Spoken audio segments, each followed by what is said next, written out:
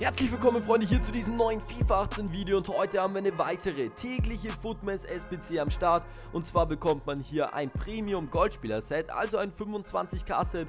Und die SBC ist echt nicht schwierig zu lösen, also mir hat diese Lösung so circa 5000 Münzen gekostet, ich habe einige Erstbesitzer, aber ihr seht es, ich habe 84 Chemistry, 72 braucht man, das heißt es geht sich auch ohne Loyalität easy aus. Und deswegen senden wir das Ganze einfach mal ab und holen uns jetzt also unser 25k Pack ab. Leute, ihr wisst, was ihr zu tun habt, schreibt mir einfach mal in die Kommentare, welchen Spieler ihr gezogen habt aus diesen Packs, also aus diesem Pack, beziehungsweise ja, was ihr einfach gezogen habt. Habt ihr Packlack gehabt oder eher nicht so? Schreibt es mir gerne mal in die Kommentare und dann würde ich sagen, drücken wir direkt mal drauf und hoffen natürlich auf einen Leinwandspieler. Come on. Und es ist kein Leinwandspieler. Verdammt, das ist natürlich sehr belastend. Es ist England Innenverteidiger, das müsste Smalling sein.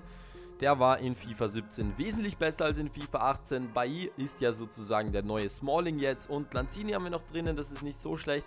Ich weiß nicht, ob der noch was kostet. Der hat eine Zeit lang wirklich ein paar tausend Coins gekostet. Jetzt kostet er leider nichts mehr, wie wir hier sehen können. Und dann auch noch eine Silberkarte. Das ist jetzt aber auch nicht so schlecht. Der könnte auch ein bisschen was kosten. Ne?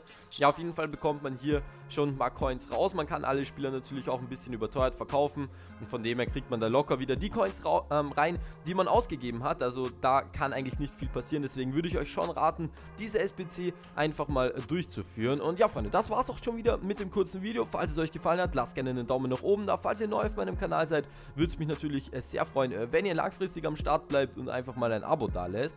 Und ja, Leute, dann wünsche ich euch einen schönen Tag. Wir hören uns beim nächsten Mal wieder. Vergesst nicht, habt immer High Hopes. Bis zum nächsten Mal und ciao.